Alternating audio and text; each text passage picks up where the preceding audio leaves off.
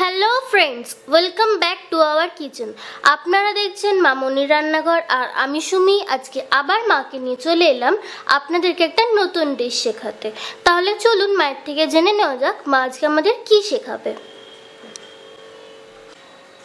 আজকের রেসিপি শাহি মালাই কোপ্তা। তাহলে চলুন শুরু করা যাক। তাহলে চলুন দেখি আমাদের মালাই বানাতে কি কি লাগছে। আমাদের লাগছে মাখন, নুন স্বাদ মতো, চিনি স্বাদ মতো ফ্যাটানো টক দই একশো গ্রাম, খোয়া ক্ষীর পঞ্চাশ গ্রাম, পাঁচটা আমন্ড আর পাঁচটা কাজু বাদাম আমরা আধ ঘণ্টার জন্য গরম জলে ভিজিয়ে রেখেছিলাম।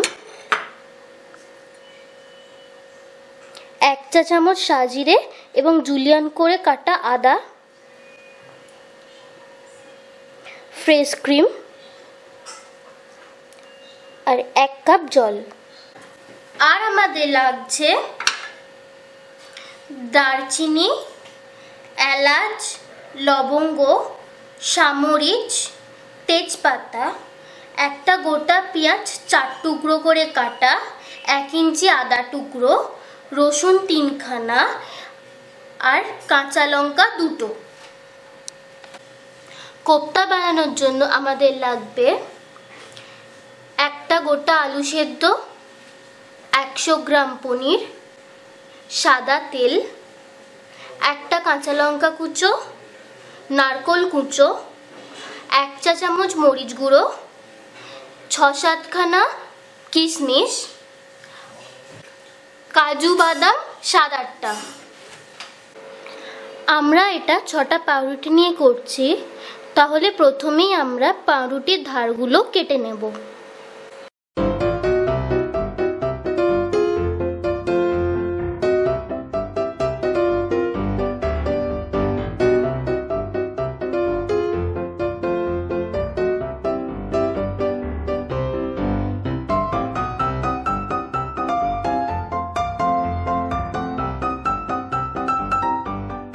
এবারে আমরা পাউরুটির সাইডগুলো মিক্সিতে গ্রাইন্ড করে নেব।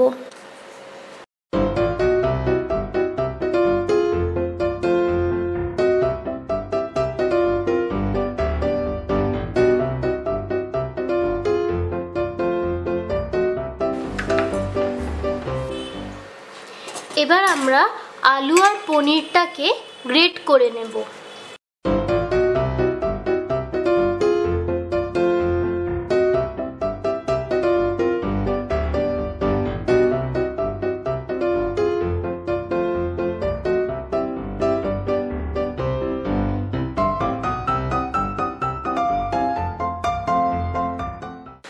এবার আমরা গ্রেট করা আলু পনির আর মশলাগুলো ব্রেড ক্রামের সঙ্গে মেখে নেব।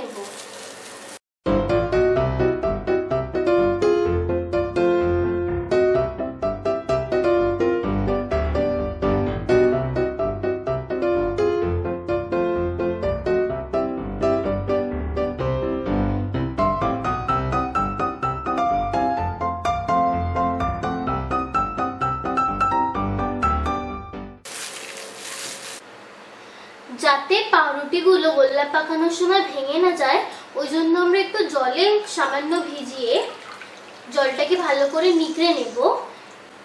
এবং তারপর তার মধ্যে আমরা তৈরি করা পুরটা দিয়ে গোল গোল পাকিয়ে নেব।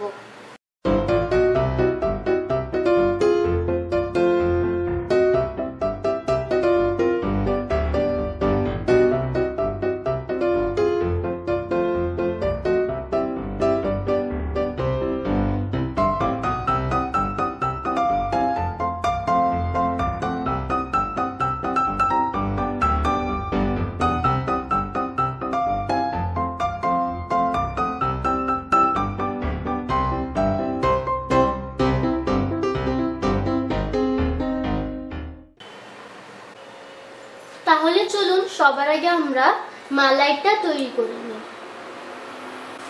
প্রথমে আমরা কড়াতে মাখনটা দিয়ে দিলাম।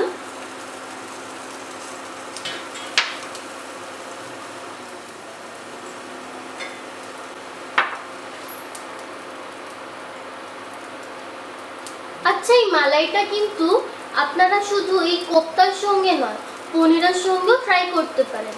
তাই আমরা পরবর্তী এপিসোডে একটা মালাই পনির অবশ্যই নিয়ে আসব। তাহলে যখন মাখনটা গরম হয়ে গেছে, আমরা এর মধ্যে ছাড়ানো বাদামগুলো দিয়ে দিলাম।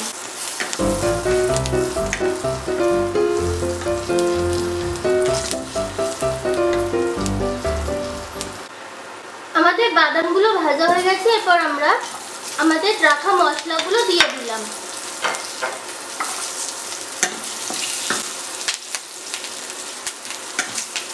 পাওয়ারটা লস হয়েছিল, আমরা একশো করে নিচ্ছি, আর আপনারা গ্যাসে করলে পাওয়ারটা লোতে করে নেবেন। এরপর আমরা এক কাপ মতো জল কড়াই ঢেলে দিলাম। আমরা পেঁয়াজটা সেদ্ধ হওয়ার জন্য কড়াটাতে চাপা দিয়ে পাওয়ারটা একটু বাড়িয়ে দেব। পেঁয়াজগুলো সেদ্ধ হয়ে গেছে। এবার আমরা পেঁয়াজগুলোকে একটু ঠান্ডা করে মিক্সিতে বেটে নেব। পেঁয়াজ ঠান্ডা হয়ে গেছে, এবার আমরা বেটে নেব এটাকে। তার আগে আমরা লঙ্কাটা বাদ দিয়ে দিচ্ছি, যাতে রঙটা সবুজ না হয়ে যায়। এবং আমরা একটু জল দিয়ে দিলাম এর মধ্যে।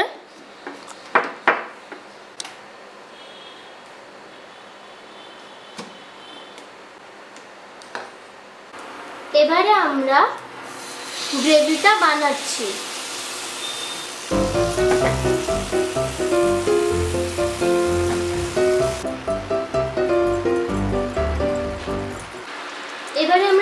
গ্রেভিটার মধ্যে সাজিরে আর আদা কুচিটা দিয়ে দিলাম। দিয়ে এবার একটু ওটা নাড়তে হবে যাতে তলাটা ধরে না যায়। এবার আমরা এর মধ্যে ক্ষীরটাকে হাতে করে গুঁড়ো করে দিয়ে দেব।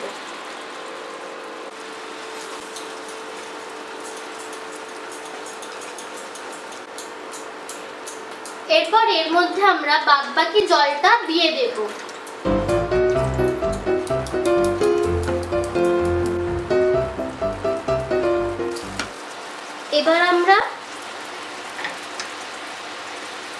দই চিনি আর নুনটা দিয়ে নেড়ে নেব। তারপর আমরা ফ্রেশ ক্রিমটা দিয়ে নাবিয়ে নেব।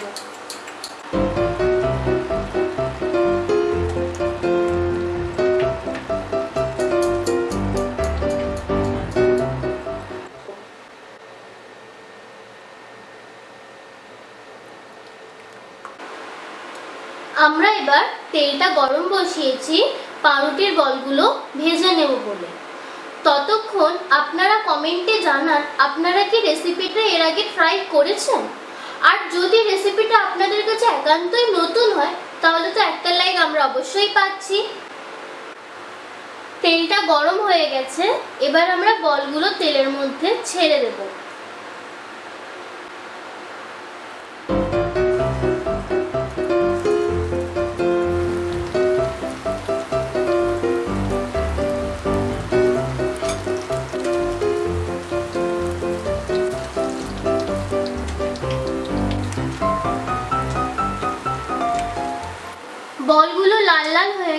এবার আমরা তুলে নিচ্ছি।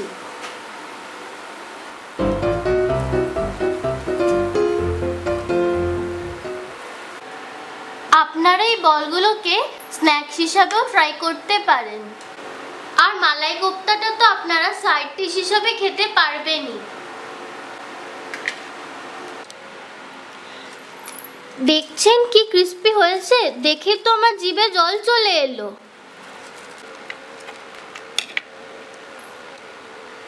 এরপর ওপর থেকে মালাইটা ঢেলে নিলাম। আমাদের ডিশটা রেডি ভিডিওটা যখন শেষ পর্যন্ত দেখে নিয়েছেন, আপনারা যাওয়ার আগে লাইক কমেন্ট শেয়ার করেই যাবেন। আর আপনারা যদি চ্যানেলে নতুন হন, তাহলে সাবস্ক্রাইবটা টিপে বেল আইকনটা টিপতে ভুলবেন না যেন। তাহলে দেখা হচ্ছে পরের ভিডিওয় ভালো থাকবেন, টাটা!